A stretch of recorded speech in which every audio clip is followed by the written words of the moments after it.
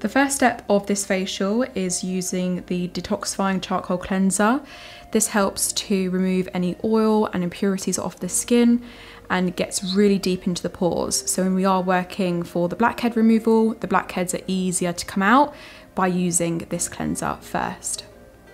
The second step of this facial is lymphatic drainage, which really helps to depuff the face and stimulate the lymph nodes. Third step of this facial is the exfoliation. This movement really helps to remove any dead skin cells on the surface to help brighten the skin. The fourth step of this facial includes a light chemical peel of a 7.5% glycolic acid.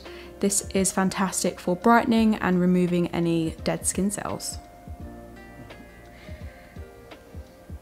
Step five of this facial is using the detoxifying charcoal cleanser as a mask, as it is a two in one.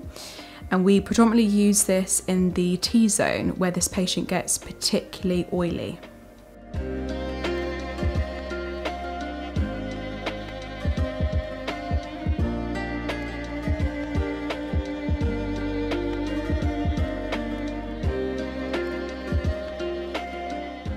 Step six is the extractions, and this is the blackhead removal. As you can see, there is quite a lot of oil coming out of the skin, and that is because we used the detoxifying charcoal cleanser as a mask prior.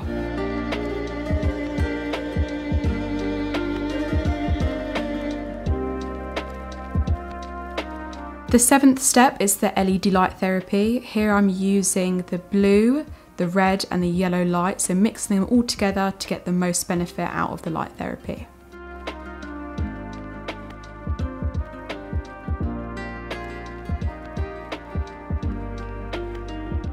The eighth step of this facial is to use the Dr. Somji Skincare Signature Serum as the skin can feel a little bit dry at this point, so this helps to revitalise the skin and boost all the hydration back into the skin.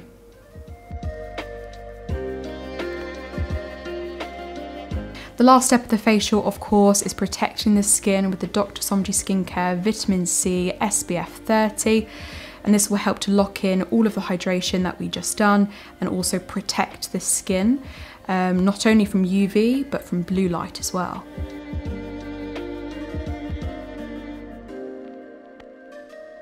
If you'd like to find out more information about this facial then please visit drmedispa.com and you can book in now.